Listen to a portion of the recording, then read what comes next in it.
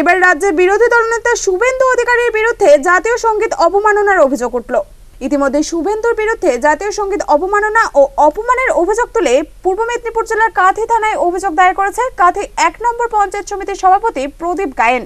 উল্লেখ্য, গত কয়েকদিন আগে তৃণমূলের প্রতিবাদ সভা থেকে ভুল জাতীয় সংগীত গান তৃণমূল কাউন্সিলর রীনা দাস এরই পাল্টা জবাব দিতে জাতীয় সঙ্গীতের সম্মান ফেরাতে কাঁথিতে জাতীয় সংগীত গাইতে উপস্থিত হন শুভেন্দু অধিকারী। আর সেখানেই জাতীয় সংগীত গাওয়ার নির্ধারিত সময় অতিক্রম করেছে বলে শুভেন্দু অধিকারীর বিরুদ্ধে অভিযোগ। ইতিমধ্যে কাঁথি থানায় ইমেল মারফত অভিযোগ জানিয়েছেন প্রদীপ গায়েন।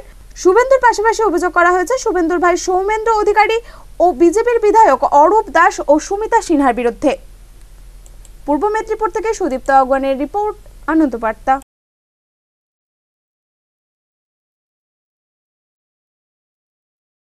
এবার রাজ্যের বিরোধী দলনেতা শুভেন্দু অধিকারীর বিরুদ্ধে জাতীয় সংগীত অবমাননার অভিযোগ উঠল।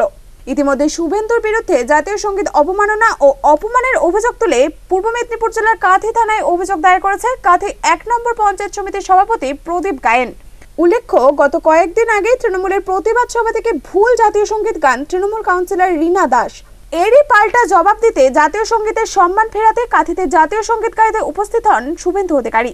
আর সেখানেই জাতীয় সংগীত গাওয়ার নির্ধারিত সময় অতিক্রম করেছে বলে শুভেন্দু অধিকারীর বিরুদ্ধে অভিযোগ। ইতিমধ্যে কাঁথি থানায় ইমেল মারফত অভিযোগ জানিয়েছেন প্রদীপ গায়েন। শুভেন্দুর পাশাপাশি অভিযোগ করা হয়েছে, শুভেন্দুর ভাই সৌমেন্দ্র অধিকারী ও বিজেপির বিধায়ক অরূপ দাস ও সুমিতা সিনহার বিরুদ্ধে। পূর্ব মেদিনীপুর থেকে সুদীপ্ত আগুয়ানের রিপোর্ট আনন্দ বার্তা